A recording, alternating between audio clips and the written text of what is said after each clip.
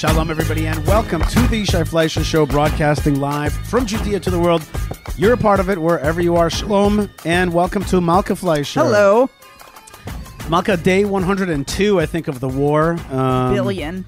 yeah. 102 billion. Right, like this is, but but for us in Israel, it's like, you know, October 8th around here. That's what people say. It's like, Yeah. it's just a one, it's a 100 day long day. Right. Yeah. People are saying, I think we said it last Yeah, time. It's that's like, right. it's October 102nd. Right. Um, with all that, the war continues, um, and young men are are being killed uh, in battle. Um, and yesterday, not so far away from here, there was a car accident Right. That was of an army terrible. That was soldier. I was. I was in the traffic jam, Oy. and I had to, I got to see the you know turned over Aftermath. jeep. Yeah, it was terrible. It It was was, terrible. Someone, uh, a soldier was killed from that. Yeah, you know, and and our daughter Leah says to me, she goes, you know, it's not a time of. Uh, of rachamim, it's a time of din. There's a lot of dinim. There's a lot of uh, judgment. Harsh judgment. Yeah. and not mercy. And I told her, you know, there's a truth to that. And there's another side which is like there's there's mercy everywhere. Right, right, the right. net of mercy is all around us. We just don't always feel it. You know, we don't always feel it. But but there's this like, you know, there's this like bloodletting and this this this pain there. I want to tell you, I have a um Sa'arat regashot. I'm like full of emotions right, now. right. now. Ups and downs. No, not ups and downs. Emotion. You know, uh, Ups and downs of emotion. All What right. what do you all mean right, all when right, you all right, ups and downs. I'll, I'll stay, right. I'll say, but I, I just meant to say that wasn't the graphic image that I thought. It wasn't undulations. of Okay. What was your graphic image? It was more mm, earthquakey. You know what I mean? It's not up and down. Hmm. Okay, it's, it's more okay, like okay. it's there's an intensity and the, Yeah. I would say I would say squeeze and release as opposed to up and down. You know what I mean? Okay. Like a, you, you know what I'm saying? Because Uh-huh. it's not I'm In not and like, out. Because I'm not like high and happy and low and depressed. Uh. I'm just like oh grit and then a little bit of a release and back to grit. That's that's Mm-hmm. Right, that's okay. the undulation there. All right. So um so uh first thing is that yesterday you took a picture of me on the way to work because I, Yep. had, I had a day off from the army, so I put on my uh cowboy hat and I went with uh, some of the uh I went to Chevron and I went to work with my secretary about some issues. We have a drone that's stuck inside the uh meches, the Customs at the customs. airport. So I'm trying to unstuck the drone. That's a bureaucratic nightmare. It fell into like a web of bureaucracy. That's bad. It was annoying. Uh, but we are dealing with that, and and uh, and and uh, uh, the director general of the Jewish community of Hebron, Uri Uri Karzen, who listens to the show, had a birthday. Mazel So happy tov, birthday! And I tov, did a little tov. video of his big project, which is the, um, which is the building of thirty apartments in Hebron. What a massive project it is! And I went to the dig site, and How's it looking? out- Are they working? They're digging. It's digging down. You got to go down before you go up. It's called Yeridalat Tzorach Aliyah. Are they like excav? is it there any excavating to there? What do you mean?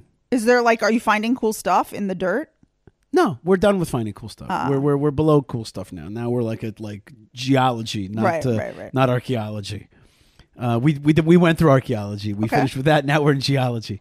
So um, that's you know uh, very special, and we're also coming out with a movie soon, a very special movie that I can't tell you all the contours and secrets of because it's going to be awesome and blow your face off. It's going to be so awesome of how spiritually uplifting it's going to be. Uh, so work on that, and then I also had volunteers at um, um, I had volunteers, Hayovel volunteers at the tomb of Ruth and Ishai, and we were building and moving rocks, and these guys were uh, they were Mennonites. Mazel tov to the to Chava, by the way, on her recent engagement, That's right. That's right. Hayovel engagement. Engagement to Josiah. That's right. Mazel tov. Mazel tov. Okay, great. And uh, yeah, you heard it here. We're excited. Um, Good match. and we had a lot of fun because because there were they were the folks were Mennonites, and I said, "You guys put the men back into Mennonite." These guys, we had a great time, and and I don't know anything about Mennonites the- except that they cook in large batches. And so sometimes I go online and then there's good Mennonite recipes. Well, this show will not be covering, you know, the Mennonite religion, Mennonite faith. Although, interestingly enough, they speak a German dialect. They like know another language. They speak this like this like Dutch German dialect. It was very interesting. Were they talking that? Is that their They- like they- their be- Yiddish yeah, between, each other? No. yeah. And if and if a rock falls underfoot, they they say something in in. uh, Oi, in- in- sprachen like yeah, that. Yeah, yeah. Sprechen Sie Deutsch? Ay, like that. So, it was really Very cultured here on but the my, Yishai Fleisher show. my best moment though Yeah. was we had this Druze fighter this Druze Israeli soldier, Yeah.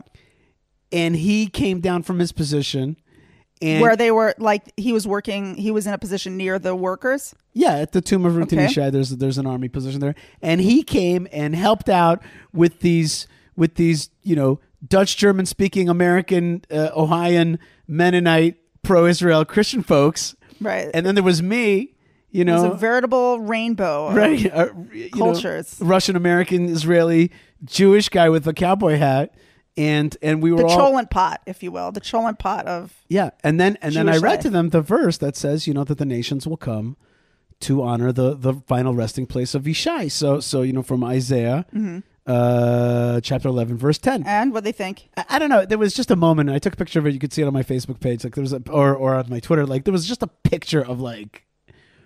I, I Good wrote. old Americans. I no, no, I no, not the good old man. I said a pro-Israel, Druze Israeli oh, of the soldier. of the soldier. Ah, of all of them together. the three of us Got it. a Got it. pro got it, got it. Israel Druze Israeli soldier with a pro Israel American Gentile with a pro Israel Israeli Orthodox Jew. You know, just and and the the Druze guy was strongly pro Israel, strongly cool. anti anti you know Palestinian Authority and all that kind of stuff. And it was just it was just a moment in time. It was just a moment in time, and we were all there like building an ancient site. There was just like a Wow. cosmic moment. So that was you know what you would call a high before, or like or Right. like a like a like a release. It was a beautiful moment. Then today, I don't know what happened. I was I needed I I have a I have a weird thing. I needed to relax a little bit and I wanted to find some TV, but out of nowhere popped up the trial of uh, of of Adolf Eichmann, which is by the way sometimes pronounced Eichmann, interesting enough. The the he like you it's This- pronounced Eichmann. All right. I didn't know that. Anyway, holy Wha- cow, Malka. That's what you look. Everybody, I would Holy like you to meet Yishai Fleisher. Holy okay? cow. Yishai has many interesting facets to him. One of them is that his idea of relaxation is to listen to history of the Adolf Eichmann trial. Yeah, Go it on, It wasn't. It wasn't just. Uh, it wasn't just listening to it. It wasn't just listening. It was watching, and it turns out that there's a whole story about how how the Eichmann trial was filmed. And it turns out that the Eichmann trial was actually much less about Eichmann the dude, mm-hmm. which was actually about something that had been been kept inside the stomach of Israeli mm. Jews for 10 for 12 years. Mm-hmm. No, 15 years, Okay. which is the Holocaust. Sure. And suddenly people came out. And they got to say their piece. They got to say their thing. Wow. And I want to tell you something. I've seen a lot imagine. of I've seen a lot of Shaw stuff, but Mm-hmm. this was different. These were people with accents, speaking sometimes in Hebrew, but sometimes in different languages. Israelis Mm-hmm. talking about their experiences. How One do guy, they look? they look like survivors. Yeah. you know, which means strong. Mm-hmm. But like when this stuff came out, and there was like three very like very shocking stories to me. Uh, but one of them, How could there be shocking stories?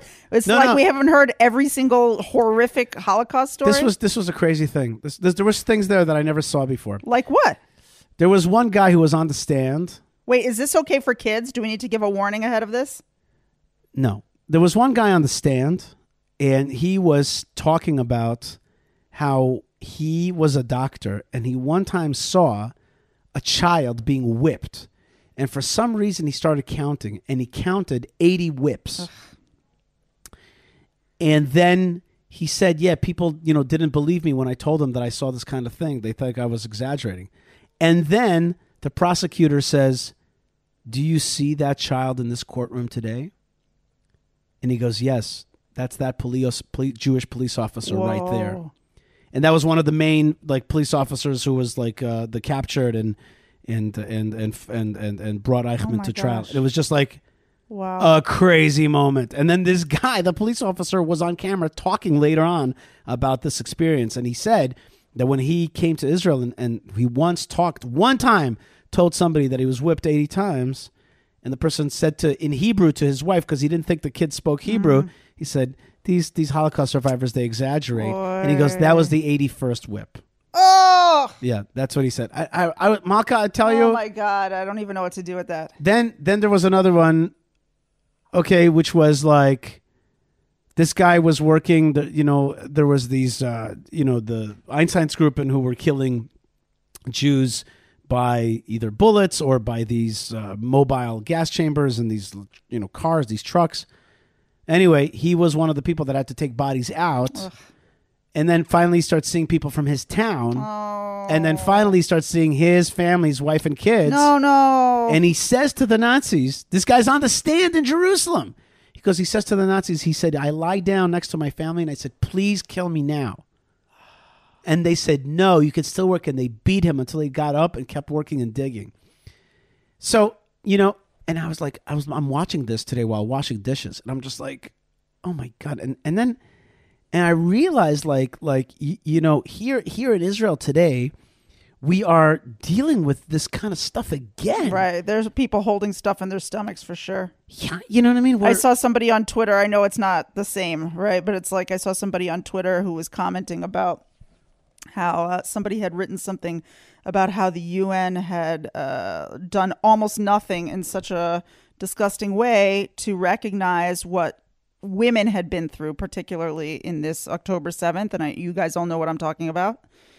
Um, and this one person commented on that post and was like, we, you can't understand like the suffering that that some are oh and they were talking about how how like so many israeli families are just like feeling broken right now and and and so unrecognized. And and um, this one person wrote like my nephew was kidnapped and you can't understand and they're a hostage now and we don't know where he is and you can't understand no one can understand how completely destroyed we are we're like devastated right now we and you know even to use words like devastated or destroyed you like you hear these words and these are words that are like common in the nomenclature of suffering but like there's no words for these people to use to tell you what it is that they're holding in you know what i mean how they're trying to just keep from totally collapsing in their lives yeah.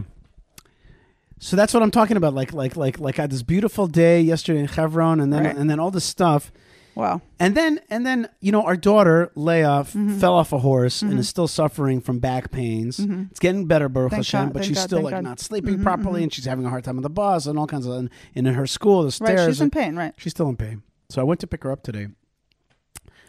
And something happened to me on the way, which is that um, at the beginning of the war, at the beginning of the war, there was this video released of this cool Israeli guy, seemingly not religious, singing this mm-hmm, song. Mm-hmm, mm-hmm.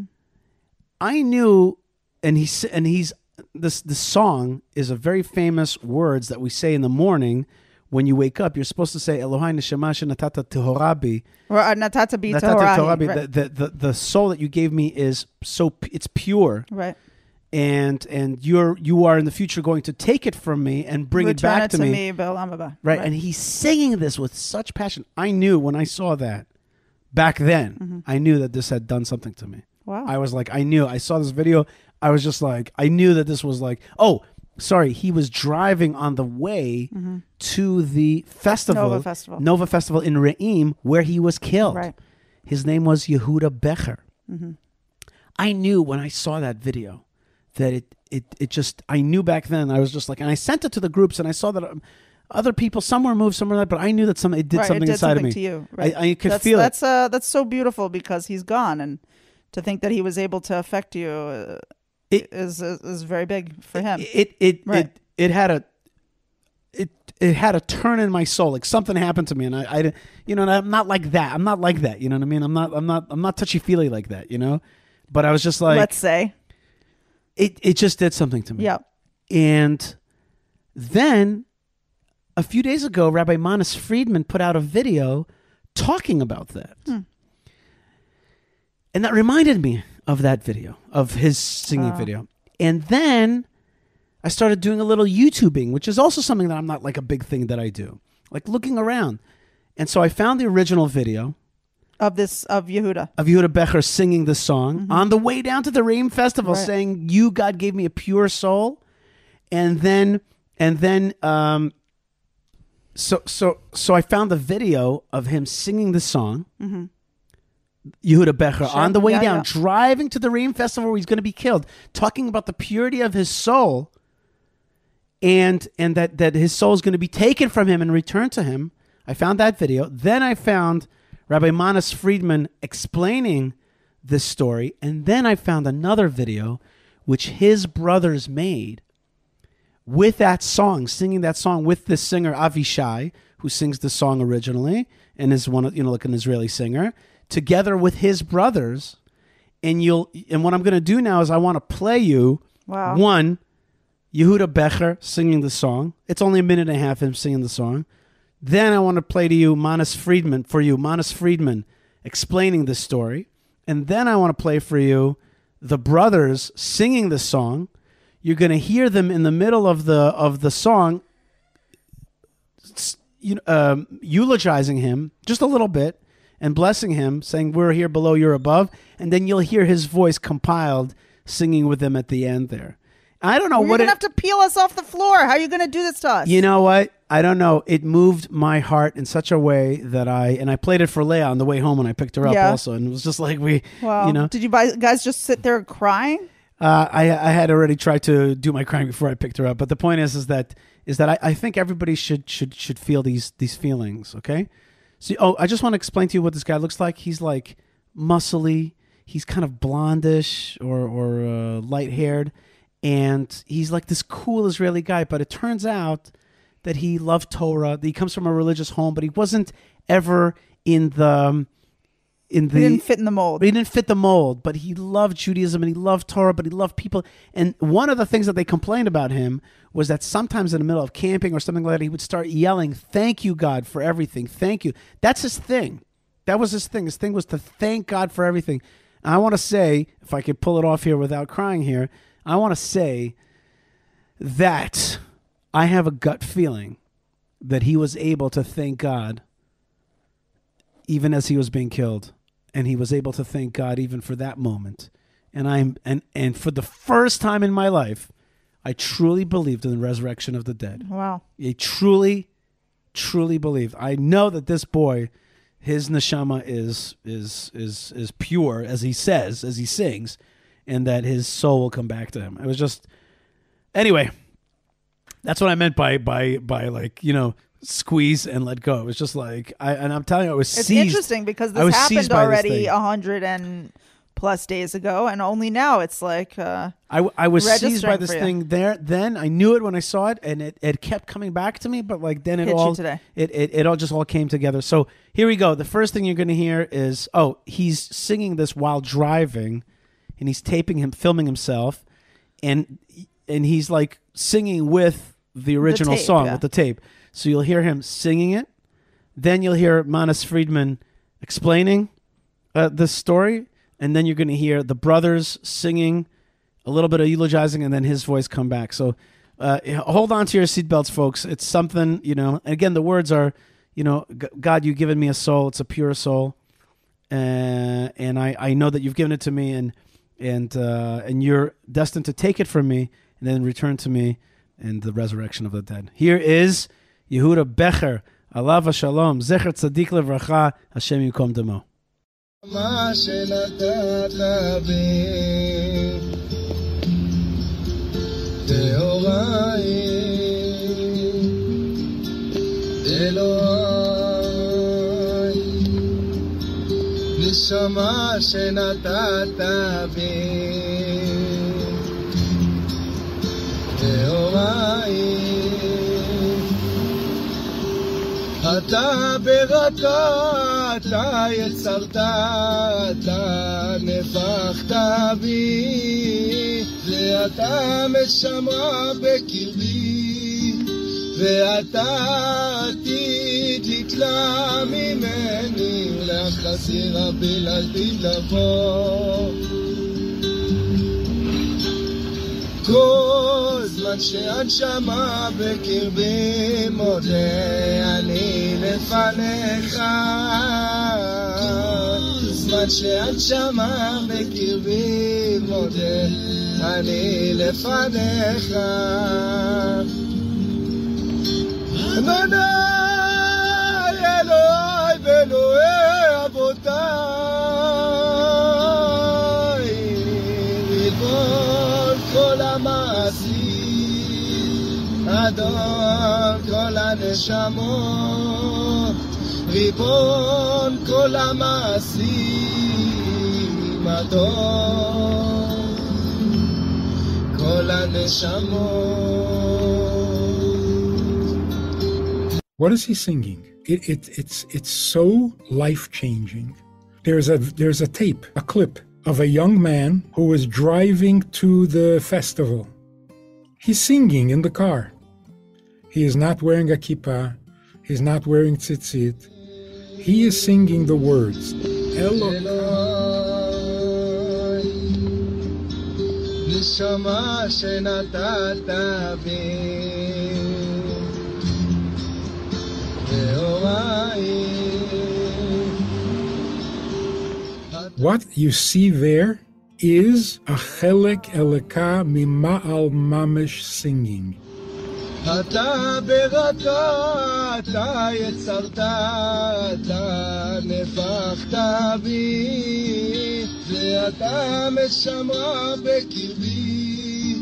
ואתה עתיד לתלה ממני, לאחזי הבלעדי תבוא.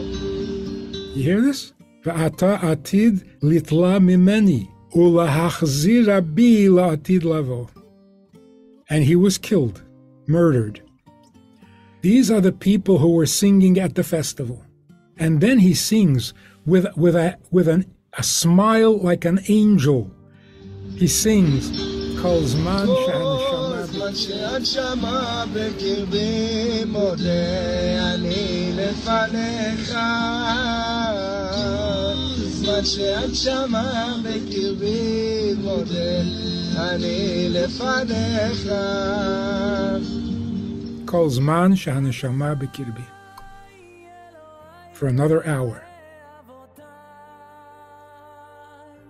If you don't know that that is every single Jew, just covered up a little bit because of the Arichut HaGalut, if you don't know that, it's been 300 years since the Baal Shem Tov told us that this is what a Jew is, and you still don't know it?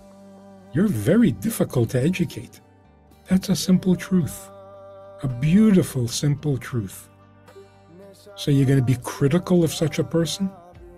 Without learning, without knowing, without understanding, without the years and hours of, of learning Kabbalah and Hasidut, and this simple man understood Hashem better. Bepashtut. That's a chelek eleka mima'al mamash. And sometimes you have to remind yourself, whatever you think, whatever you do, you succeed, you fail,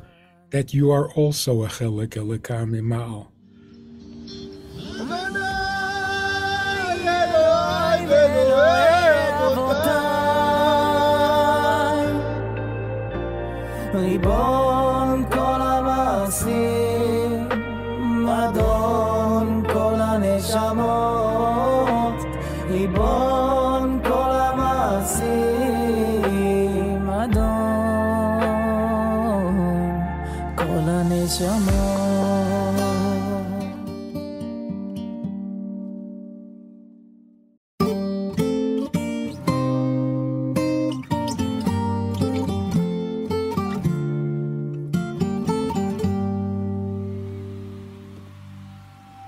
Eloai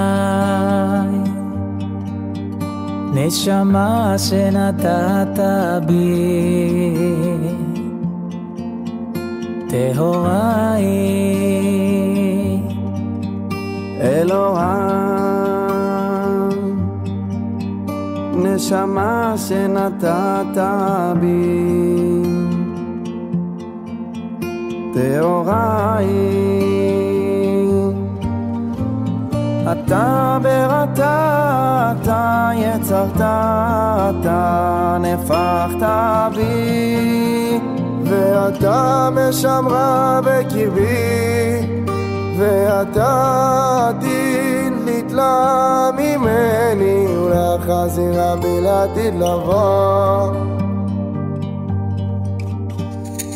כל זמן שהנשמה בקרבי מודה אני לפניך. כל זמן שהנשמה בקרבי מודה אני לפניך אדוני אלוהי ואלוהי אבותיי ריבון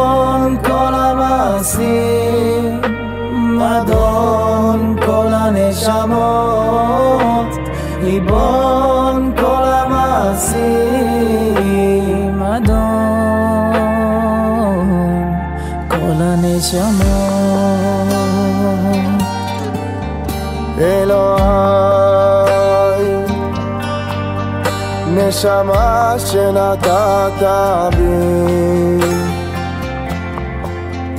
Teorai, Elohai, neshama shenatata bi. טהורה היא אתה בראתה, אתה יצרת, אתה נפחת בי, ואתה משמרה בקרבי, ואתה עתיד לתלה ממני, ולהחזירה בי לעתיד לבוא. יהודה, ומה שבטוח שטוב לך שמה, אחרת לא היית מוסיף לחייך אלינו ביום ובלילה. אהוב שלנו, דש מלמטה, ובזכותך אומרים כל בוקר, אלוהי נשמה בכוונה. ולא נשכח אותך, כי לנו היית במתנה. אדוני אלוהי ואלוהי אבותיי ריבון כל המעשים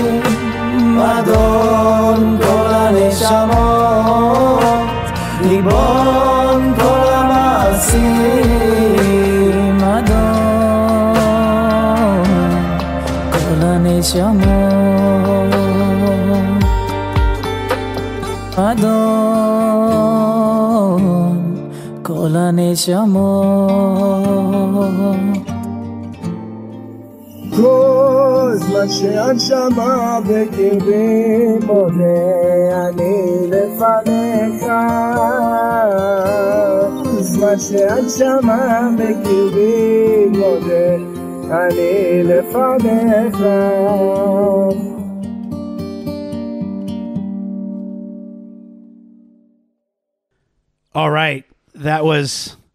I'm, I'm sorry I had to drop that on you, uh, all of you folks. Yeah, but thanks. Uh, but I mean, uh, it's good, right? We can't like uh, turn away, but that was not easy. no, but it, but it's it's more than that though, Malka. It's uh,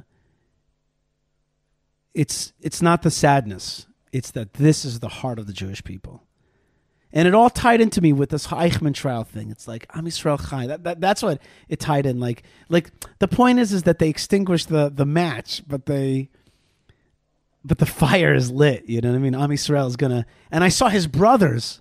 I could see that that light, his light, Right? They, they're shines. not and, uh, extinguished. and and there's a hundred thousand views on this video, and you know of, of the guy singing, uh, of the. Uh, no, on, on the on the on the musician singing and the Becher video. Forget about it. The point is, is that this has touched millions of lives, including my life, maybe your life, and the Bezrat Hashem uh, will continue to be strong. Ow, whew. That's some that's some stuff. Anyway, Am Yisrael Chai, definitely Am Yisrael Chai, definitely definitely Am Yisrael Chai lives, and that's the thing. You know what gives me joy is that Khomeini, Khomeini, ah, Yeah. he. At the end, he's a loser, you know, and so was Eichmann. He's a loser. right, He's a loser. At the end, he was judged in Jerusalem, right, in Hebrew, right. By the Jews. Speaking of judgment, I just want to. I want to. I'm glad you brought up judgment. Uh, Israel's being tried in the international court Yeah. So I listened to. I would a- try them. I would bring them. so I just wanted to say, I just wanted to say To be that, tried. The that Hague. I listened to an interesting audio from Tehila Gimpel from the Land of Israel Network, and she was talking about this. Um, and the conclusion that she came to, I'll, I'll wrap it up really quick, is that she is that God is on trial. That basically it comes from the book of Isaiah, and God talks about how the nations will gather, um, will gather together, and they'll they'll like try God, and that Israel is God's witness. Um, and I, I thought that was really great.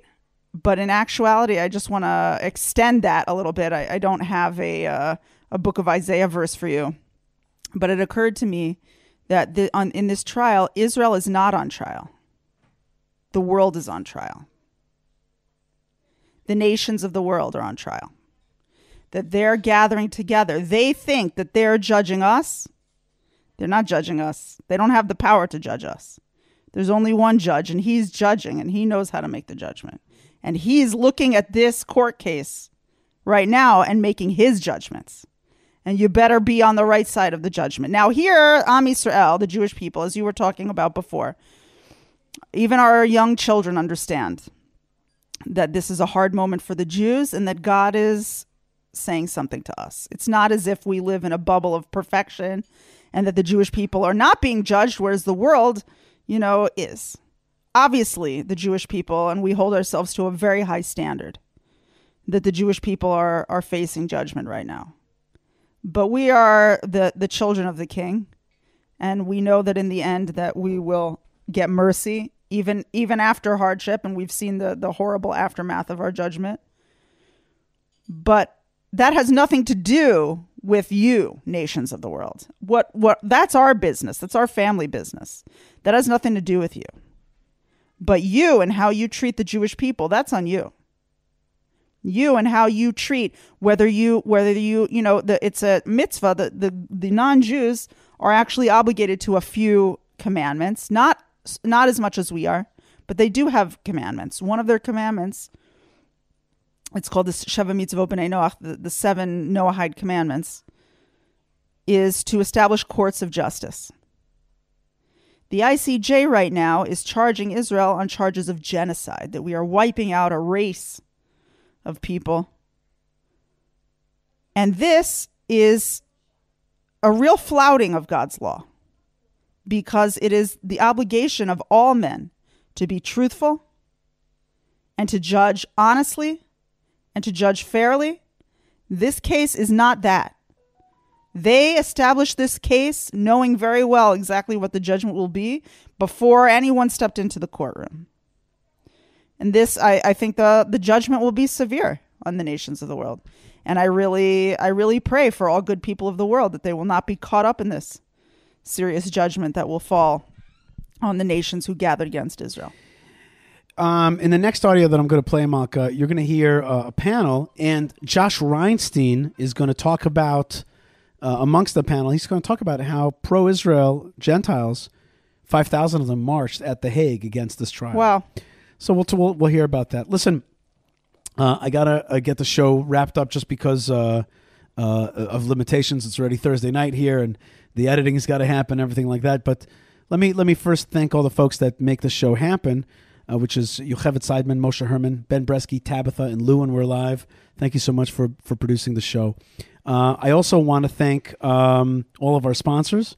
Our sponsors include the good folks at RetroWatchGuy.com. Great watches from from the past, alive today, just like the Jewish people. Uh, so check them out. They're doing great stuff. RetroWatchGuy.com. Uh, check out our good friends at uh, Making Delightful Foods uh, for the Soul and that is at uh, prohibitionpickle.co.il. Uh, awesome kosher food with a kick. Prohibitionpickle.co.il. Our friends at jns.org and jewishpress.com, two wonderful news websites, different uh, and both complement one another. Jewishpress.com, jns.org. Um, thank you very much to the Hebron Jewish community uh, for keeping the tomb of the fathers and mothers safe. They're the Knights of the Machpelah, and that is uh, hebronfund.org, hebronfund.org and to go to the Temple Mount and connect to Yerushalayim, Yer Kodesh, uh, the Holy Land, the, the, the heart of the Holy Land, and that is at highonthehard.com, highonthehard.com. And of course, tour the land of Israel at koshercycletours.com. Lots of great friends, koshercycletours.com. They're making great stuff. Thank you, Aaron, for doing for for for showing us the beauties of the land from uh, two wheels. Awesome. Um, Malka Ben Bresky has a very special audio today, and that audio is actually be, before we get to the Reinstein audio, uh, the, the, the the the which has a lot of good folks on it: Eugene Kontorovich, Alex Traiman, uh, uh, Marc Zell, a lot of people on a panel that I'm going to play you from the second part of the uh, uh, uh, sovereignty conference that I was at last week. Before that, Ben Bresky on the Baba Sali. The Baba Sali had his yahrzeit last week, and so therefore uh, we're going to have a segment from our intrepid reporter Ben Bresky on the story of the Baba Sali and some other stories having to do with uh, the story of this great righteous man. Here's Ben Bresky on the Baba Sali.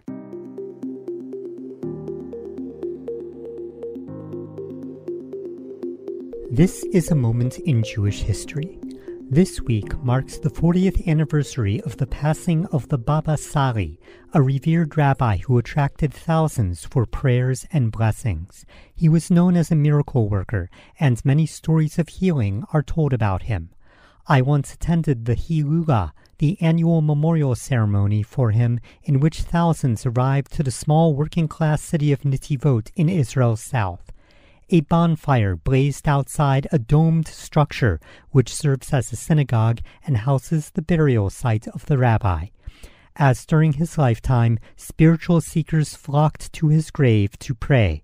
There was music, barbecue, and traditional Moroccan pastries. Rabbi Yisrael Abu Hatzera, known as the Baba Sali or Praying Father, was born in Rissani, Morocco, to a long line of learned rabbis. Rabbi Shmuel Elbaz, the patriarch of the family, was born in the 1590s in Jerusalem and was a student of the great Kabbalistic sage Rabbi Chaim Vital. The name Abu Hatzera means father of the carpet, and one version of how he obtained this name was when Rabbi Shmuel Elbaz was sent as an emissary and fundraiser to the Jewish community of Turkey, but he was denied entry on the ship. Thus, the rabbi took a small carpet and flew there. Rabbi Shmuel Elbaz later became head of the Eliyahu Hanavi synagogue in Jobar near Damascus, Syria. The synagogue was built on top of a cave where, according to local tradition, the prophet Elijah hid. A sign states the synagogue existed since the days of the first temple. Writers and travelers dating back to the Middle Ages mention having visited and prayed there. The Damascus blood libel of 1840 led to rioting and the desecration of the synagogue. In 2013, the synagogue was severely damaged during the Syrian civil war. The Abu Hatzera family immigrated to Morocco, which at the time had a thriving Jewish community, one of the largest in the world.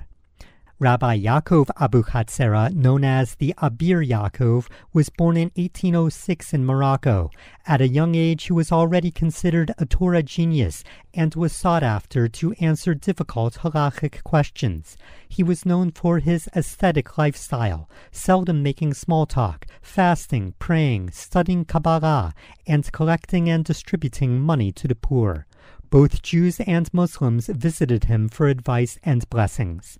The Abir Yaakov had a great yearning to move to the land of Israel, but his congregation begged him to stay. Finally, he convinced the community that his son would take his place.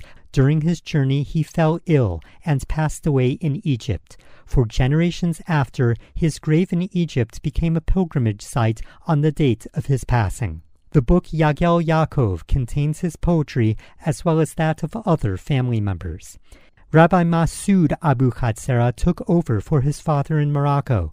He too was a Kabbalah scholar and wrote many rulings on halachic issues and many songs and poems called piyutim, which are still sung by the Moroccan Jewish community today.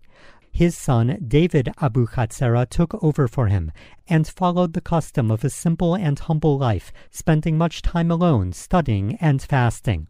When the French took over Morocco, there was much political upheaval. A Muslim leader accused the Jewish community of siding with the French. He decreed that all Jews of the region be put to death. Rabbi David Abu Hatzera told the community that he prayed that only he would be executed and the rest of the community spared. The troops rounded up the Jewish residents in a courtyard. They executed the rabbi with a cannon. The rest of the community was spared, but forbidden to have any type of memorial service. Rabbi David's two brothers, Yitzhak and Yisrael, moved to the land of Israel in the 1920s following the incident. Yitzhak Abu Hatzera was known as the Baba Chaki. He and his family initially lived in Givat Olga, a transit camp near Hadera. When the chief rabbi of the land of Israel heard of his arrival, he came to meet him and initiated his appointment as chief rabbi of Ramla and Lod. He served as rabbi for 20 years and was also a member of the Chief Rabbinical Council. The other brother, Rabbi Yisrael Abu Hatzera, became known as the Baba Sali. Upon his arrival in Israel in the 1920s, he studied at the famous Beit El Yeshiva in the Old City of Jerusalem. He went back and forth, living in the land of Israel and Morocco over the years. At one time, he thought to live in the United States near the Lubavitcher Rebbe, but the Rebbe, head of the Chabad Hasidic movement, wrote him a letter encouraging him to continue to help educate and lead his community. In the 1960s, he permanently settled in Israel. He lived in a small public housing project home in the working class development city of Netivot in Israel's south. People flocked to the small desert town for blessings and prayers. There are many miracle stories about him. Once on a ship on the way to Israel, a terrible storm arose. He instructed his students to pour the Kiddush wine into the sea, upon which it calmed down. Petitioners who arrived at his home were asked about their level of religious observance and encouraged to be strong in Jewish tradition. A wheelchair bound man was brought to the Baba Sali and began slowly but surely walking again after vowing to become closer to Judaism. A woman whose daughter was injured in the eye during army service came to him for a blessing. The daughter recovered. A missing man was found on the exact day on which the Baba Sali said he would. An interview with longtime assistant David Golan explains that the Baba Sali wanted no credit for his miracles. Like Joseph interpreting Pharaoh's dreams, he gave all the credit to God. He was scrupulous about never talking bad of anyone or of Israel. He usually kept his eyes lowered or covered his eyes with his hand. Golan stated that he considered himself nothing special and insisted that it was the power of the individual's own faith that made the miracles, not him. Politicians sought his endorsement, and wealthy businessmen offered to build him a better home and larger synagogue, but he rejected it all. Golan stated that once a distraught father credited the Baba Sali with helping his missing daughter return home. As a token of thanks, he gave him a watch and gold cufflinks. But Golan said that the Baba Sali gave them away and he received the cufflinks, while the Baba Sali accepted nothing. The Baba Sali also composed Jewish liturgical poems, which are still sung today. One is in memory of his brother who was executed in Morocco. Another is called Yodu Lecha Rayonai. A quick search on YouTube brings up countless different versions by contemporary singers. The following is a translation from Hebrew. I will rejoice in you, Hashem. I will rejoice in you, eternal God. I will rejoice in you, Savior of my soul, with final redemption. My thoughts will praise you, Hashem, who from the womb formed me. You have brought me to Mount Sinai to enlighten my soul. That is why in my prayers, with my song, I will glorify you all the days and years until eternity. My heart is happy when I remember your kindness, for God chose of all people Israel as his servants, the seeds of a pure plant, the patriarchs, his beloved, unblemished, from the root he raised them. I want to fulfill your will, God, source of all will, as you originally led your flock in a beautiful pasture where joy reigned, shepherd of Israel forever. Listen to their voices. The Baba Sali is remembered by both the Moroccan Jewish community as well as Hasidic groups and the general Israeli public. The 40th anniversary of his passing was marked in Israel, the United States, and Jewish communities around the world. The story of Moroccan Jewish Aliyah to Israel will be explored in a future episode. This has been a moment in Jewish history. Thank you to Yishai Fleisher. Thank you to all the listeners, and shalom. And we are back. Thank you, Ben Bresky, and God bless. We have a picture of the Baba Sali here. That's right. in our- And, and Baba Sali is uh, in Otef Aza. that's right. That's right. Baba Sali's in Otef Aza. He is like the tzaddik of Otef Aza. that's right. Uh, and may the, the merit, yes, the maybe the merit of Baba Sali protect Amen. uh, everybody who's As in we say in Hebrew, and Otef Aza. Zchuto yagen aleinu. Amen. Amen. Uh, now, I want to play, a uh, to end the show, an important segment, which is uh, first, I'm going to play a um, um, the panel featuring a lot of my good friends, featuring a lot of my good friends uh, on one panel. You'll hear me introduce it from the Sovereignty Conference run by the Sovereignty Movement, uh, made by Nadia Matar and uh, Yehudi Katzover. So let's hear from the good folks uh, thinking very much about the future of Israel and the future of Gaza from the Sovereignty Conference. Thank you, everybody, for coming to the Sovereignty Conference in English, uh, reaching out to the world. Before I go on, I want to thank Nadia Matar and Yehudit Katzover of the Sovereignty Movement. You know, you know, Yehudit and Nadia are land activists. Uh, they are political activists, but they are also teachers. And one of the things that they've brought out is a simple word sovereignty. They brought it out into the world. Beforehand, we didn't know exactly how to say the whole thing that we mean in one word. They were like, sovereignty. That's the word. Push it out. They called the movement that, and everybody, it's on everybody's lips. Sovereignty. So thank you very much for teaching us uh, that simple word that encompasses all that we mean. Uh, and thank you for this conference. Uh, folks, uh, 1,200 people murdered, 150 still abducted, uh, many soldiers killed and wounded. Um, Israel's strategic situation is not simple, with dangers from Gaza, Lebanon, Iraq, Yemen, Iran, American campus, and even at The Hague. We face a lot of challenges. Uh, Israel's democracy was till very recently on very shaky ground with a lot of uh, divided polity. But this war has brought us together. I want to show you something that Yehudi, uh, that Nadia mentioned for a second, and that is that the Ribonut movement uh, uh, commissioned recently, just yesterday came out, a poll of Israeli public opinion, asking them simple things. Do you want a Palestinian state in Judea and Samaria? 74% no. Israelis, no. Do you want to see um, uh, uh, Israel to help voluntary immigration, voluntary resettlement of Gazans? 76%. Yes. These are numbers of public opinion. Things are changing. Israel's, we had a division not so long ago. Now we're having some unity through this war. Indeed, right now, clarity is needed and a vision of victory is required. All this, all the problems that we've faced really come from the failed idea of the two-state solution, uh, all the way back to the uh, UN partition plan.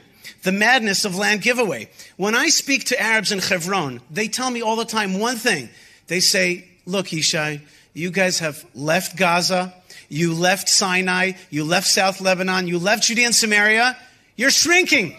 You're shrinking, and with time, we will see you gone totally. Like we saw the Crusaders gone, you will be gone as well. That is what the Arabs say. That is what they think. And that is all fruit of the two state solution idea. We feed right into that when we tell them, yeah, we're leaving. They're like, you're going to leave partially, then you're going to leave all the way. Now is the time to challenge those old conceptions. That's what today is all about. And before I uh, start out the panel, I just want to finish with uh, one important message. And that is today's conference is not a mere intellectual pursuit. We owe it to the fallen to make their death not be meaningless. We owe them. We owe all those people that at least we could say, yes, you were murdered, yes, you were killed, but because of that, we woke up and we changed course. So therefore, we're going to take these discussions with utmost seriousness and pray that God Hashem inspires us with His vision for Israel. All right. Um, I'm going to introduce the first panel. Uh, moderating is my good friend Alex Traiman, CEO and Jerusalem Bureau Chief of JNS, a Jewish News Syndicate, very important uh, news uh, news outlet. Thank you very much, Alex. Uh, his journalist, radio show host, and documentary film editor. Uh, joining him will be Knesset member Dan Illouz from the Likud Party, a former member of the Jerusalem City Council, born in Canada to Moroccan Jewish parents, and he's here with us today. Of course, Nadia Matar. Nadia, no, Nadia's not coming up.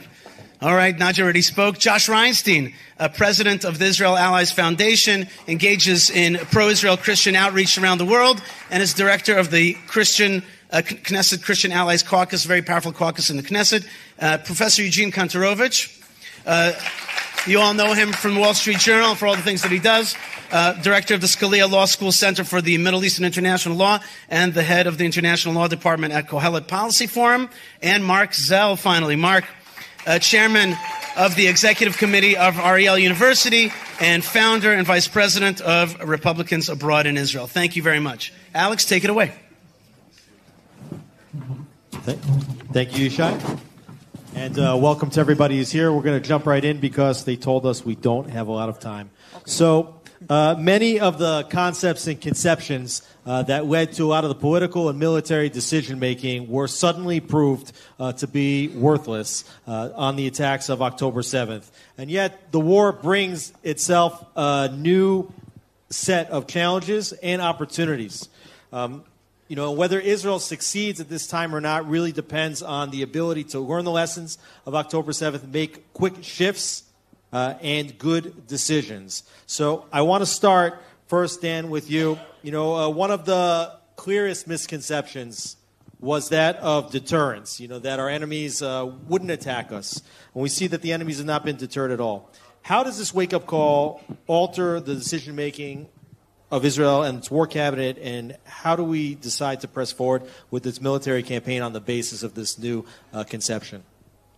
Thank you very much. First of all, I want to say thank you to the organizers. I cannot help but say thank you to the organizer, and I cannot help also to say that I'm honored to be on this panel because I have a lot of role models here uh, with me on this panel. Nadia, you would have been also one of them if you were as advertised. So thank you very much for inviting me uh, here today. Um, your question is a very good question. I think that one of the things that we realized on October 7th, and I have to say the truth, that some of us have been screaming this for years.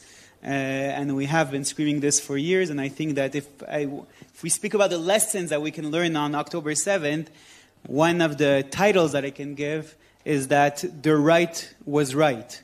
Uh, and I think that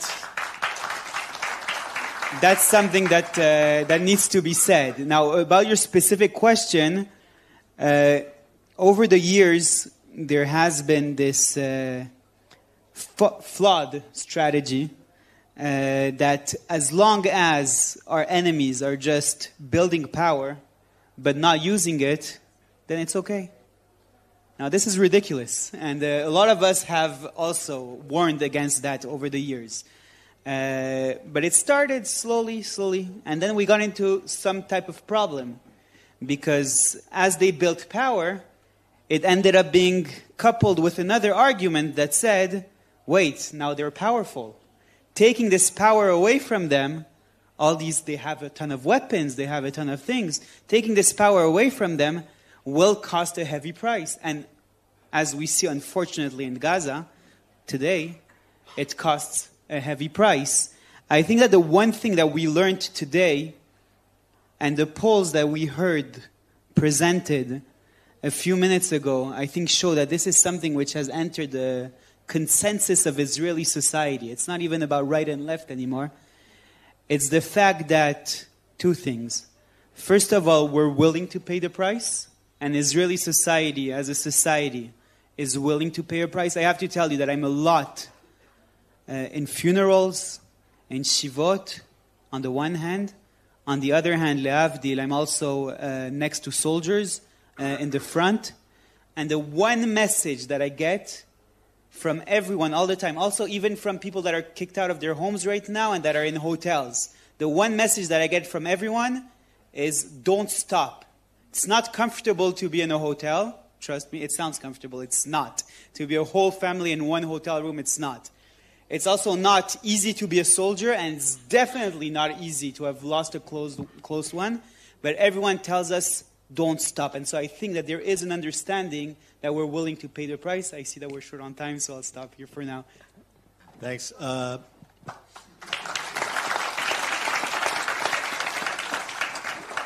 we see very clearly when we get attacked by a terror organization like Hamas, sure, they have tens of thousands of rockets, they have tunnel infrastructure, but they're fighting against the IDF, which is one of the strongest and most agile militaries in the world.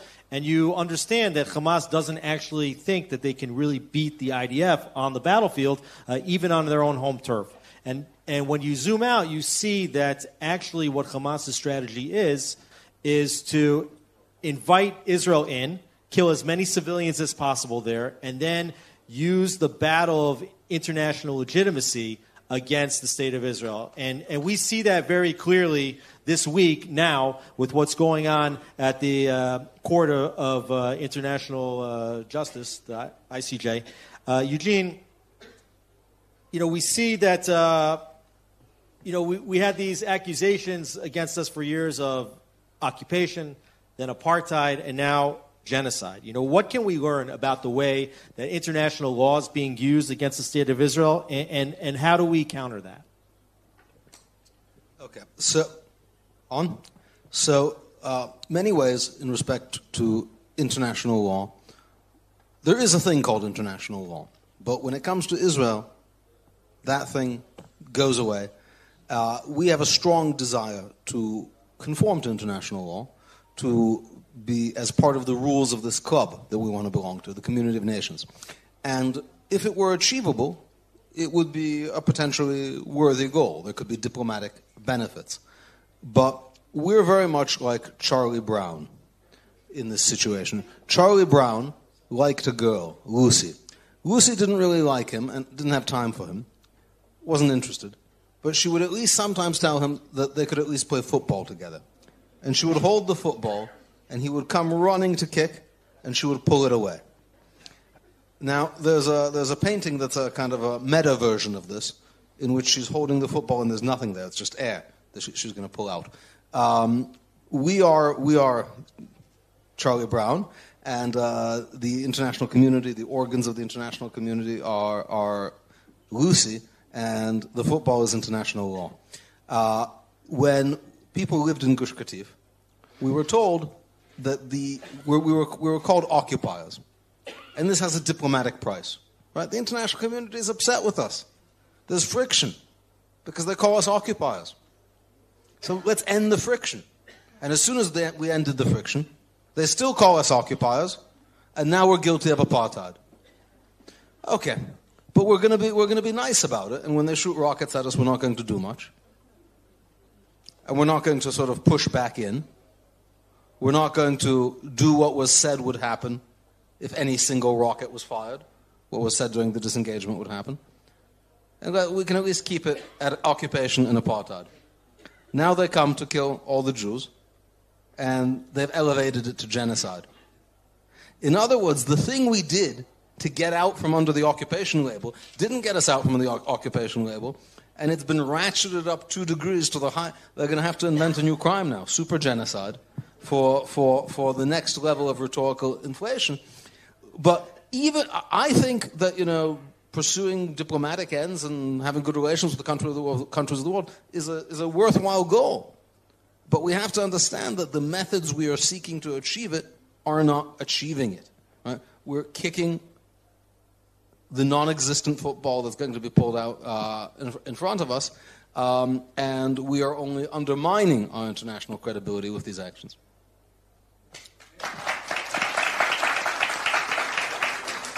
Uh, Marc, I'm going to come back to you. Marc, uh, we this week uh, Antony Blinken just made his fourth visit uh, to Israel, and you know from the first moment of the war, he came out here. We also saw visits from uh, Secretary of Defense Lloyd Austin, from uh, Jake Sullivan, National Security Advisor, and even from President Biden himself. Uh, and there were overwhelming statements and continue to be overwhelming statements of support for Israel in its mission to dismantle Hamas. Uh, and yet, at the same time, Blinken continues to meet with Mahmoud Abbas, uh, the head of the Palestinian Authority, and is pressuring Israel to provide humanitarian aid in Gaza, to reduce civilian casualties in Gaza, to lessen the intensity of the war, to prevent a wider conflict, and also to get Israel back on the track toward a two state solution. And at the same time, also trying to uh, get funding to Iran, which is uh, building illicit nuclear weapons and funding all the terror organizations uh, that have created a circle of fire around the state of Israel. You know, what do we learn on October 7th and throughout this war about the actual state of the relationship between Israel and the United States? Well, thank you very much, and thank you to Nadia and Yodit for your extraordinary work here today at this conference. I heard the Hebrew uh, portion was a great success, and I hope the English one will continue in that vein. Listen, um, I'm wearing a pin here. It has the flags of the United States and Israel on it. And I'm an American citizen as well as an Israeli citizen, and I'm proud to be both. But I'm not proud I'm not proud, Alex, uh, about how the United States government under this administration has been acting since October 7th and before. Indeed, during the entire time of the Biden administration since they took office on January 20th, 2021, it's been a disgrace. And I'll tell you what, what, what uh, particularly bothers me is the extent to which many here in Israel have swallowed the American uh, line, the, the, the, line of the Biden administration about having Israel's back. You heard that from the President of the United States almost uh, immediately after October 7th. He said, We have Israel's back. And then they would say, We will do everything we can to help Israel defend itself. Now, what it didn't say at that time, what the President didn't say is, We want Israel to go in and finish Hamas.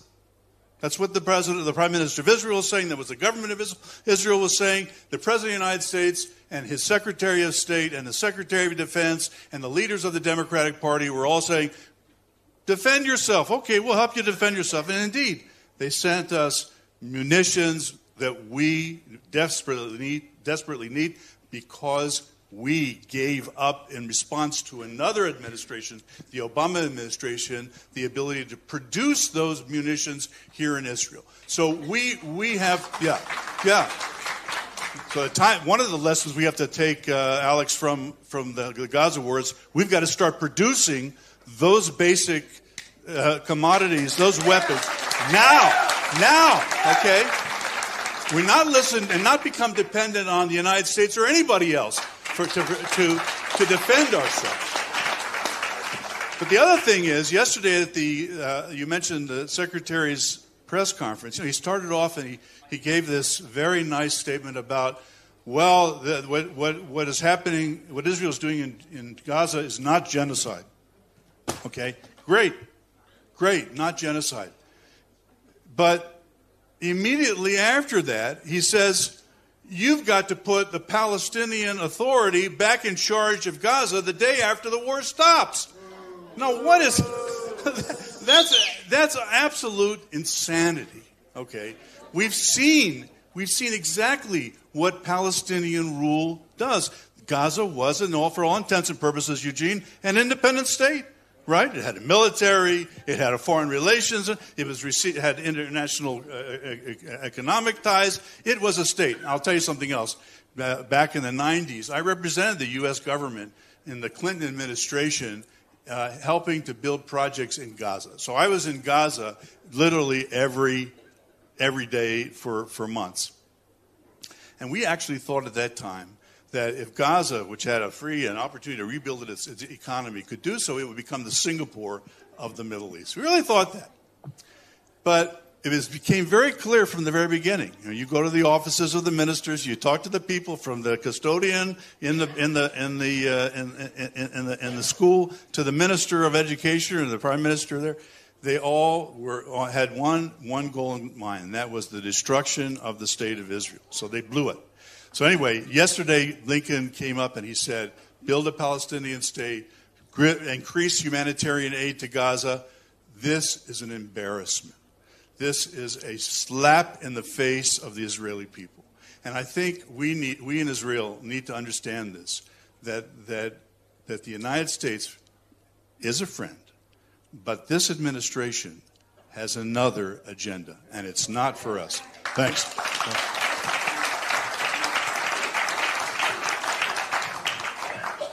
Josh, we saw with the attacks on October 7th that uh, the battle for public opinion is a major component of this war, and we see battle lines being drawn immediately. Those that come out in support of the state of Israel, and those that come out uh, in support of Palestinian causes, in some cases even in support of Hamas and what they did on October 7th. We have uh, various protests around the world in, in London, in, in Paris, in Washington, in Los Angeles, in New York, uh, all anti Israel protests. And, you know, as someone who works with parliaments around the world, you know, what do we learn about how these battle lines have been drawn? And how do we use that knowledge in order to try to build and improve uh, relationships and improve public opinion? Well, thank you very much, Alex. And first of all, I'd like to thank Yudi Katzover and Nadia Matar. Uh, really an example of what two women of courage and conviction with God on their side can do uh, over the last amazing, amazing role models. I've known Nadia for 28 years, and it makes me feel very old. So, um, look, the the ferocity of the attack, the genocide, the murder, the rape, has really caused a situation where there is a line. Okay, everyone knows now who are the good guys and who are the bad guys just from where even their rhetoric comes to. So, for example, the UN Secretary General is a bad guy. He's okay with the murder of babies and the rape of women. The evil man. Everyone knows it. Anyone who wants to be honest about it. The president of Brazil, bad guy. He's okay with slaughter of people and the killing of families and burning them alive. President of Argentina, good guy. He's against it. Uh, and so you can tell who's good and who's bad for the first time in a very long time. Because for a long time, we saw that people were giving a lot of lip service, but they weren't really standing with Israel. But the truth is, is that the most important thing now, when it comes to international support, is Christian support for Israel. Right. You told me. I just want to focus here for a second because you told me that uh, those that support Israel have one thing in common, and those that so don't support Israel have another thing in common. What is that? Yeah, well, you can look at it. What, what I call faith based diplomacy. It's when people take their biblical support and turn it real, into real political action. Today is the most important weapon we have in our diplomatic arsenal. It's the reason we have embassies in Jerusalem. It's the reason we have anti BDS legislation that stop financial BDS. It's even the reason we have observer status in the African Union. It's because Christians have gotten involved in this campaign to stand with Israel because they believe it's the right thing to do. And just take, uh, and we talked about this briefly, take the two past administrations. You have the Trump administration and you have the Biden administration. Well, what's the big difference between the Biden and the Trump administration? It's the people in the administration. Mike Pence is a Bible believing Christian who loves Israel. In fact, if he talks about Jerusalem, he starts tearing up. Mike Pompeo, Bible believing Christian loves Israel. Ron DeSantis, Bible believing Christian loves Israel. Nikki Haley, Bible the, the base of the Republican Party are these Christians who stand with Israel. And when you look at the other administration, who's in the administration? Atheists, people who are godless, people who don't really care about, you know, these type of things, or are anti. Are people who are anti-Jewish or anti-Christian. So what we're doing is we're duplicating that in countries around the world. We have 53 Israel Allies caucuses in countries around the world, and we're mobilizing them to build incredible political support for Israel. And I'll just give you an example from today. I don't know if you saw the, this farce of a trial. I don't even know why we're there, but there's this farce of the trial in, in, in The Hague. 5,000 Christians with Israeli flags marched in front of there. And so, what was mentioned before is it would be great if we were strong and our leaders were strong and we just make the decisions for ourselves.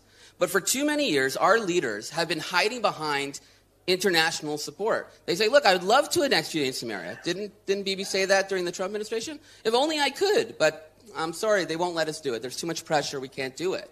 Well, let's use that pressure against them. We can build millions of people to understand the issues, to understand people who understand what is Hebron, what is Shiloh, what is Beit El, to say we need to save these places and we need to defend it. And that's what we're doing. And I think it's important that everyone reaches out to the international community and understand that this conflict is a religious conflict. It's not a political conflict. It has nothing to do with land. It has nothing to do for land peace. It's is the Quran right or is the Tanakh right? And that's why we see atheists and extreme liberals on the actual side of radical Islam. They have nothing in common other than their hatred of the Tanakh and the Jewish people. That's the only thing that unites them. But we also see on the other side Jews and Christians who do believe in the Bible who are standing together, and I think it's a very important development in the 21st century.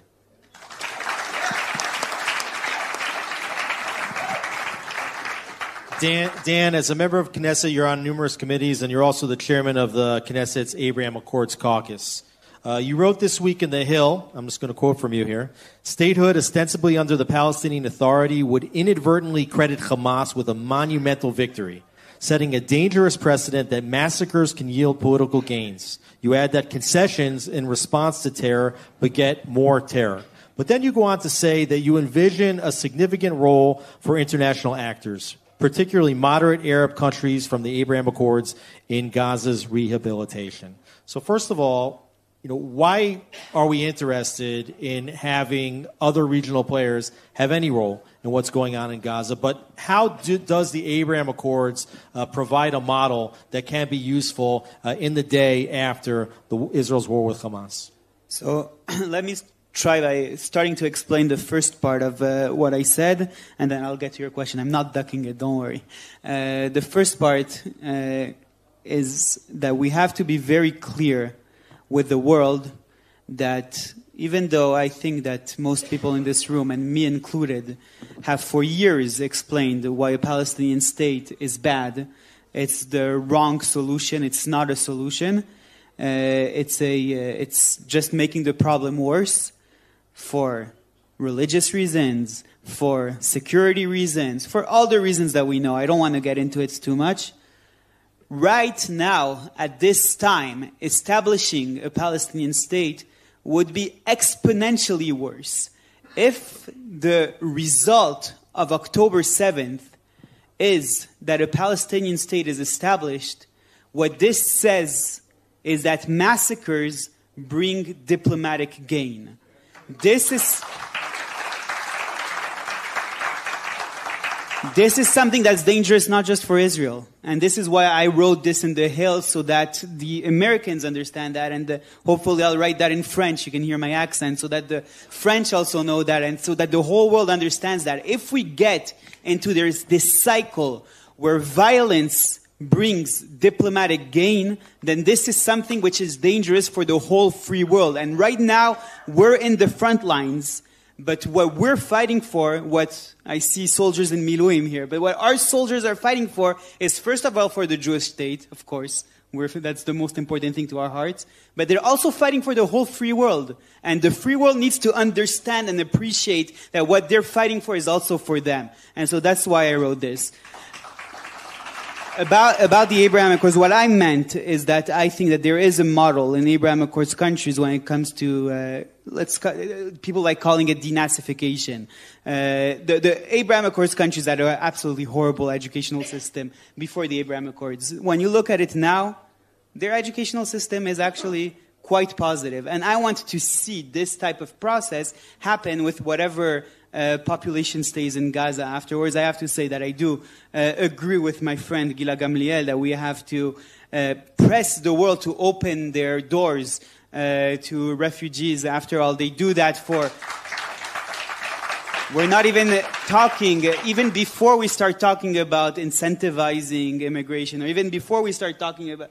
I'm talking about people who already want to go, but no one wants to get them. Not only that, there's threats against Israel. Don't you try to allow them to leave or to try to find ways for them to leave. This is hypocrisy. Everywhere else in the world, when there's refugees, the world begs countries to integrate them. Here, they beg countries not to integrate them. Why? So that they stay here and st- and keep being a problem for the Jews. That's basically, that's the only reason why they don't want them to immigrate. But whatever population stays, I don't know if we, even if it's, I don't know. I don't want to give numbers, you know, but whatever, uh, we want it to be not radicalized. And I think that Abraham Accords countries do bring us a model of something that's possible. Do you, I, I'm a, optimistic person, but when it comes to uh, international relations, I have to say I'm a realist. So I, we'll, we'll still need the IDF there. We'll still need to make sure that violence doesn't happen. It's not a short process, but that's, that's basically what I meant.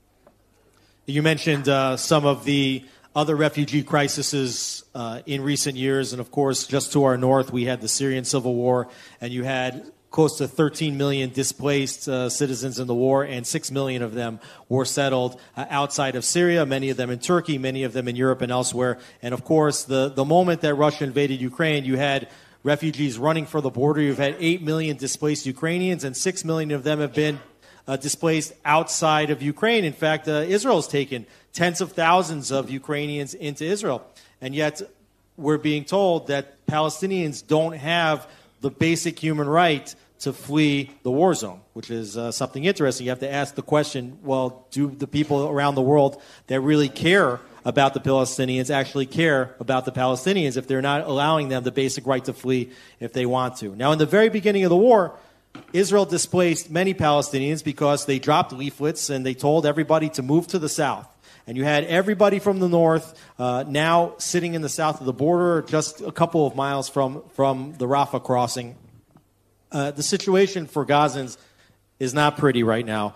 And uh, Eugene, this week you wrote a memo together with uh, Raphael Bitton and uh, Professor Avi Bell, you know, countering claims within the security establishment that under international law that Israel had to allow residents that were displaced from the north to return. You wrote in the memo that Israel has no legal obligation to allow displaced Gaza residents to return to their homes in the northern Gaza Strip for the coming months.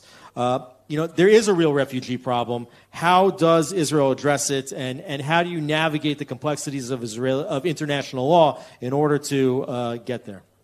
This memo is in response to some ideas percolating in some corners of the legal establishment, um, which are strange ideas. Uh, there's still a war on, and the notion, which currently uh, Secretary Blinken is actually pressuring the Israeli government to, to implement, that people should return to the north while the war is still on, while soldiers are still dying. Uh, I'll, I'll, tell you, I actually got a call. I got the call hey, what do you think about the legal uh, question of um, having, the, having people come back to the north because things are winding down? As I was uh, sitting in the Shiva house of, of a neighbor, uh, young man Ephraim Jackman died in the north, and they're already talking about bringing people back. Now, in the north, there's not much to come back to currently, and it's a war zone. So there's an obvious adverse selection problem. Of course, there's people very excited to come back there because they're Hamasniks. Normal families are not excited to come back there. Uh, that's quite clear. And uh, there is still, in fact, a war on. Um, Gaza, it's true. Uh, I'll elaborate on the earlier comments. Gaza has now finally become the world's largest open air prison. And the international community is happy to have Gaza be like a North Korea, from which there is no escape and no exit, simply to allow Hamas to use its population as human shields and increase the pressure on Israel. Um, the the, an- the answer to this is very clear. Egypt has obligations under the Refugee Convention. Uh, Egypt has obligations under other international treaties. Um, Egypt is a neutral country which must not turn away asylum seekers at its, uh, at its borders.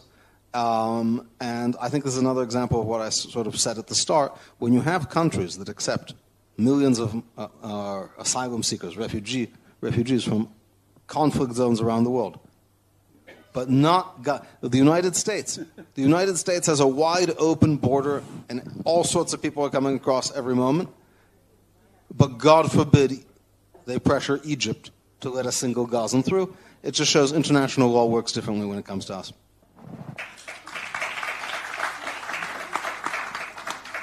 Uh, we're going to have to keep the answers brief because we're, we're running out of time, and I want to get at least two more questions in. Mark, it's it's often being reported that the Biden administration is making uh, some of its calculations uh, on the basis of this being an election year and fears of losing support uh, from the Democratic Party's progressive base. You know, how do the upcoming U.S. elections factor into the equation as Israel continues its war effort? Well, just following up what I said earlier, I mean, the Biden administration is the cause of a lot of these problems. I mean, had, had there not been a change in administration in 2021, I think it's very doubtful that the, that the conflict in the Ukraine would have occurred, where the conflict here in Israel in the Middle East would have occurred on October 7th. So changing the administration back to what it was in 2020 is a primary goal of uh, the Republican Party and uh, that I represent. And I hope. Uh, those of you who are in Israel that have the right to vote in the United States do so, regardless of where you may, uh, may live or may be registered. It's extremely important that we vote.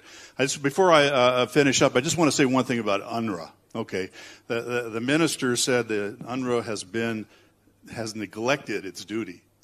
No, UNRWA has been a primary uh, advocate of the Hamas regime. It has, it has been an aider and abetter of terrorism.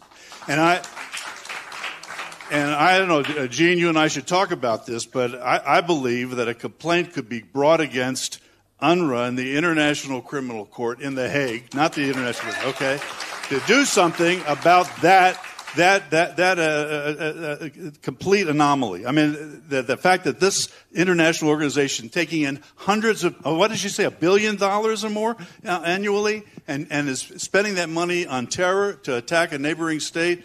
Unacceptable. That goes to the International Criminal Court or whatever forum we can get to put an end to it. Thanks.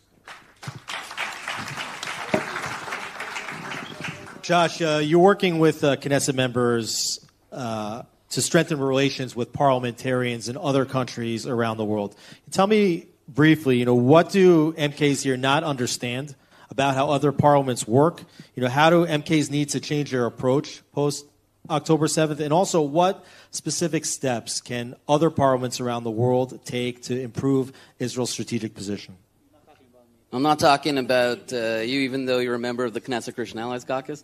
Um, yeah, so First of all, what people need to understand is that we'll never win in an international organization because the majority of countries in the world are dictators and tyrants. They're run by dictators and tyrants. They're, they're not democracies. So we'll always lose at the UN, we'll always lose in the international court, and we'll always lose the IMF. So the strategy that we do is that we started caucuses within parliaments. So within parliaments, we have an advantage we have 53 Israel Allies caucuses. These are groups of members of parliament who say, I like Israel, I want to do something for Israel, and I need to get something done for Israel because it's an issue of faith for me.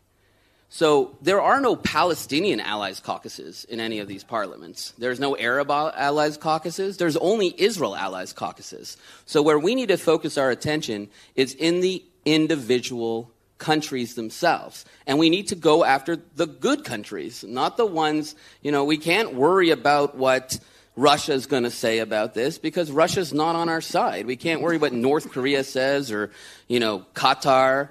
And we should also call out the bad actors. And so one of the things that we've done is we've done it through what we call faith-based diplomacy because the real superpower of Israel is our faith it's, it's Hashem. We don't win the wars because Jews are good athletes. We win the wars because Hashem is with us, and when we fight, He comes into battle with us. So we need to understand on the international community the same thing applies. We'll never win the political argument. There's one Jewish vote in the United Nations compared to 22 Muslim votes or Arab votes, many more Muslim votes. Uh, economically, we're not going to win. We don't have the oil money of our neighbors. We have to appeal to something that people care about and that's their faith.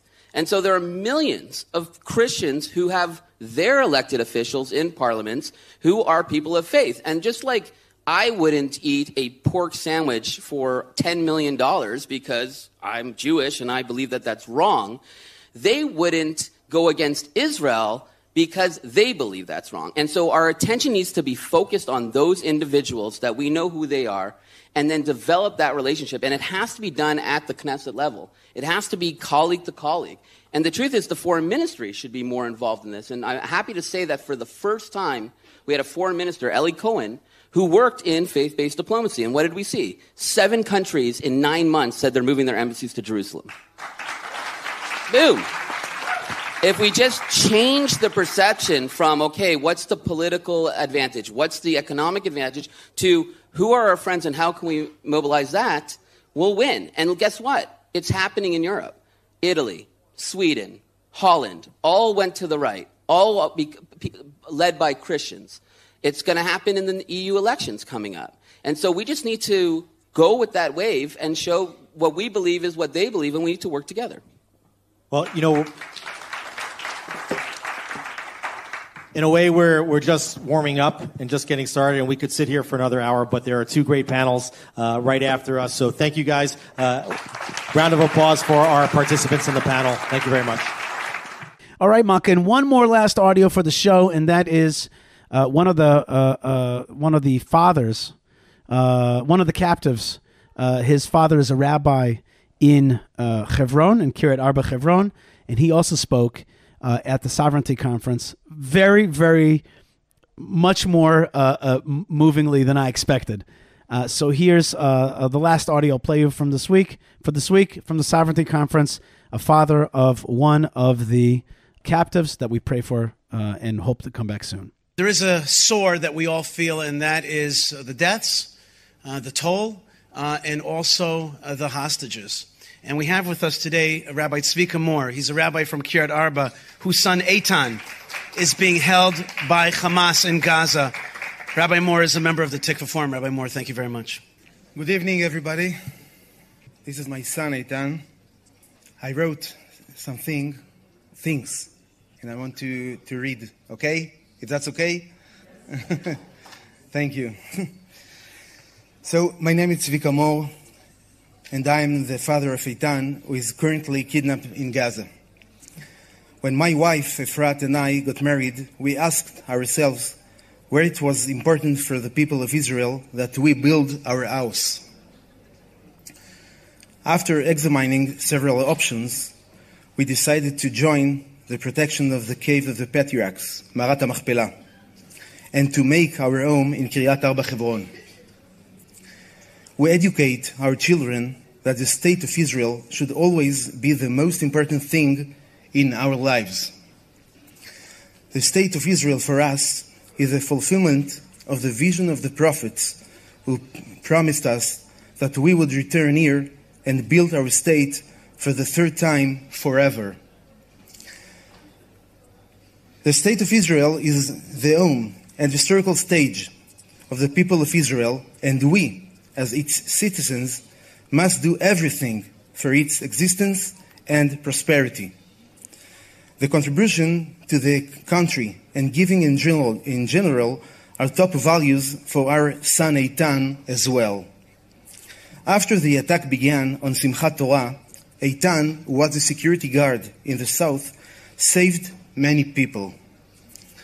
At 2.30 in the afternoon, after he and uh, other security guards gathered about 20 citizens and fled south with them, Eitan and his friend Eliakim Libman found two bodies lying on the ground.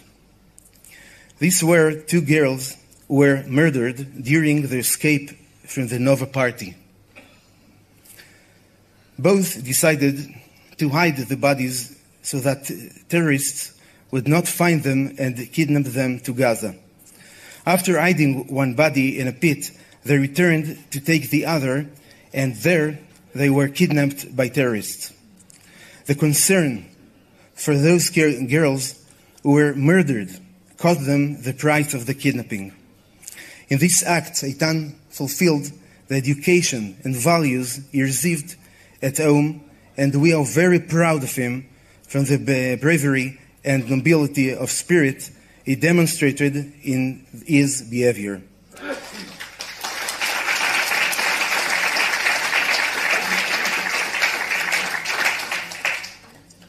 If you look at the WhatsApp group of the hostages' families, you will see that it's reflecting the cultural struggle in Israel. In this group, the big issues and questions of this generation arise.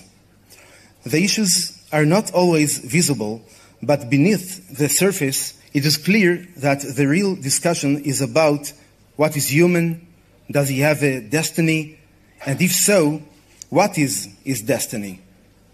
Is the main thing in life is just to live or to, to live or the main thing is to live a life of meaning? Is the land of Israel is just a real estate or the land promised us by God? What is the relationship between the individual and the, and the state? Another question, another question that is constantly on the agenda is about the immediate profit in the present while risking, while, while risking the future of all of us in Israel and more. We, as a family, found ourselves in even uh, and even at uh, the, the end of this struggle and decided to be strong for, for the future of, of the state of Israel and for the people of Israel. We understood that despite our great pain, we must take care of all the people in Israel and demand that the Israeli government will cope the hostages affair according to national honor and national res- uh, responsibility. The state of Israel and the people of Israel have paid enough as a result of the Arabic terrorism, not only on October 7, but for the last hundred years. In the events of 1921, 1929, and uh, 1936, uh, 630 Jews were slaughtered by Arabs. In January 1948, 35 fighters of the Palmach were massacred on their way to provide aid to the Gush Etzion settlements. These terrible stories took place before the state was established and before there were occupied terror, uh, territories. Even since the establishment of the State of Israel, thousands of Jews have paid with their lives because of Arab terrorism. If we want to live in this land, we must first be sovereign in our thinking.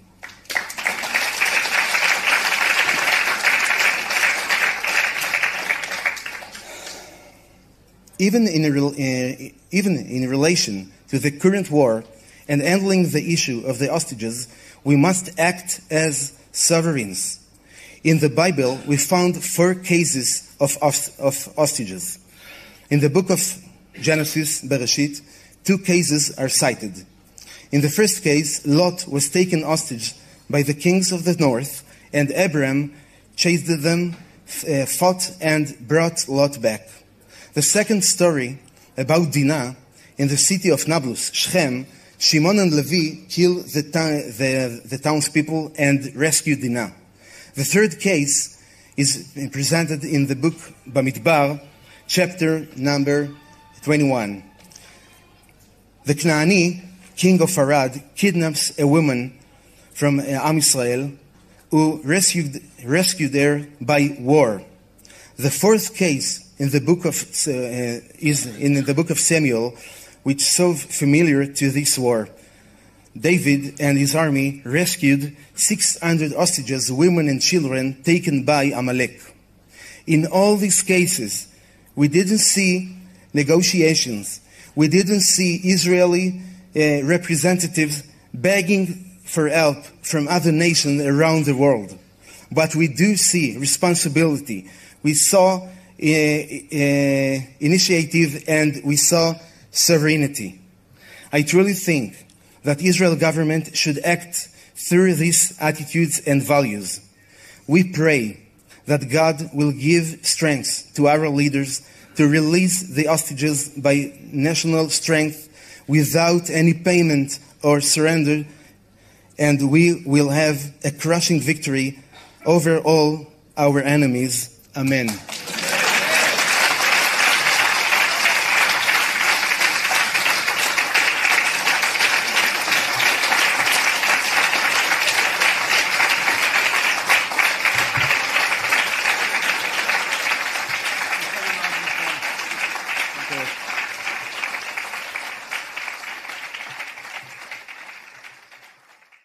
All right, folks. God bless you. Thank you so much. Thank you so much for being with us through thick and thin. Am Yisrael is challenged, and yet we fight and we push it forward. And Bezrat Hashem, we're going to be strong together. Hashem is making this time for us to challenge us to and and and to and to um, put us through a crucible, make us stronger metal inside. We come out stronger. We come out. We come out pure. We come out you know the, the, every one of these that are fallen are an offering and a sacrifice to God and somehow atone for the rest of us and for Am Yisrael. Their souls will come back and we've got to pray for strength right now and for guidance and for for pushing through this time. Am is going to live Lenetzach for eternity and in Am Yisrael, in Eretz Yisrael, in the land of Israel, the state of Israel. It's happening now, yes, with great challenges and things want to bring us down, but we won't let them because we won't let the terrorists win in two ways. They won't take our, our children and also depress us. No, we're going to have those children. We're going to raise them in the Jewish way. We're going to be upbeat and strong. Hashem, I'm asking for you, from you personally, give me strength, uh, give us strength, give this family strength, and all of our listeners and friends strength. Malkah Fleisher, I want to thank you so much for being with me. You're awesome. You are awesome. You're an awesome awesomeness. And You're awesome too. You give me awesomeness feelings uh, uh, about about strength in life. And you're the pillar of our household, and we want to bless you so much. And Thanks, we want to bless all the Jewish ladies and all the pro-Israel ladies and all the pro-Israel folks out there. Be strong and of good heart, of good consciousness. Am Yisrael Chai, the nation of Israel lives. Hashem is with us, and He's given us strength. Let us not fall for any depression, because that would be a victory for the enemy. God wants us to be in joy and in fight. And It's all going to work out. Amen. God bless you. Stay strong. Stay tuned. Stay connected. Shalom. Shalom.